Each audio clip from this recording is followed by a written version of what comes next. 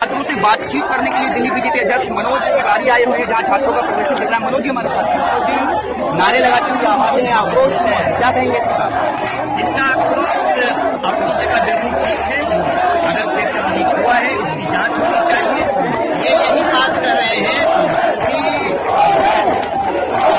घटना की सीबीआई जाँच होनी चाहिए। हम भी सीबीआई जाँच मांग